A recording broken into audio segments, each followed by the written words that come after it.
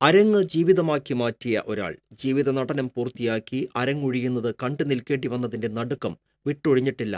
കലാമണ്ഡലം ഗീതാനന്ദനൊപ്പം കാലങ്ങളായി സഹയാത്രികരായിരുന്നവർക്ക്. അണഞ്ഞുപോയ കളിവിളക്കിൻ നറുതിരി പോലെ ആ ഓർമ്മകൾ ഈ മനസ്സുകളെ ദീപ്തമാക്കുകയാണ്.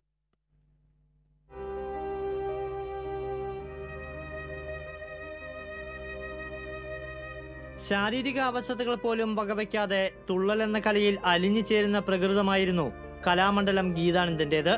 അതുകൊണ്ട് തന്നെയാണ് ആൻജിയോപ്ലാസ്റ്റി ചികിത്സയ്ക്ക് ശേഷവും ശാരീരികക്ഷമത ഏറെ വേണ്ടിവരുന്ന തുള്ളൽ വേദികളിൽ അദ്ദേഹം നിറഞ്ഞു നിന്നത്. ഇരിങ്ങാലക്കുട അവിട്ടത്തൂർ മഹാദേവ ക്ഷേത്രത്തിലെ അരങ്ങിലെത്തുമ്പോഴും കല സമ്മാനിച്ച ഊർജവും അദ്ദേഹത്തിൽ ആവോളം നിറഞ്ഞു നിന്നിരുന്നു.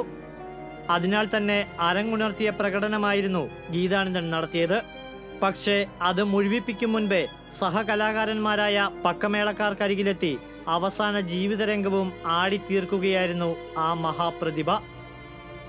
കലാമണ്ഡലം ഗോപിനാഥ പ്രഭ കലാമണ്ഡലം ശിവദാസ് കലാമണ്ഡലം നയനൻ തൃശൂർ കൃഷ്ണകുമാർ എന്നിവരായിരുന്നു കഥയിലില്ലാത്ത ആ അവസാന രംഗം ഗീതാനന്ദൻ ആടി അവസാനിപ്പിക്കുമ്പോൾ അദ്ദേഹത്തിനായി പക്കമേളം ഒരുക്കിയത് കല്യാണ സൗഗ സൗഗന്ധികം എന്ന കഥയാണ് അവതരിപ്പിച്ചത്.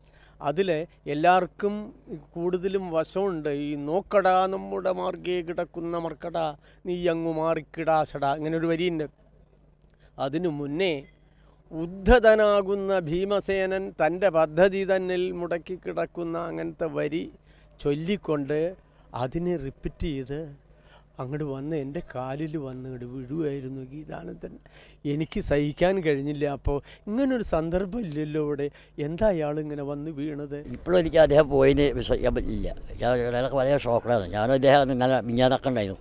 പ്രോഗ്രാമിലുണ്ടായിരുന്നു അരങ്ങിൽ വെച്ച് തന്നെ ജീവിതരംഗവും ഒഴിയണമെന്ന ഗീതാനന്ദനിലെ ആഗ്രഹം സഫലമാകുമ്പോഴും നാലു പതിറ്റാണ്ട് കാലമായി നിഴലായി ഒപ്പമുണ്ടായിരുന്ന ഇവരിൽ വിങ്ങൽ അവശേഷിക്കുകയാണ്. ഓർമ്മകളിൽ നിന്ന് പോലും അരങ്ങൊഴിയാത്ത അദ്ദേഹത്തിന്റെ അവസാന അരങ്ങിനെക്കുറിച്ചുള്ള മരിക്കാത്ത ഓർമ്മകളുടെ തിരയിളക്കം കണക്കെ.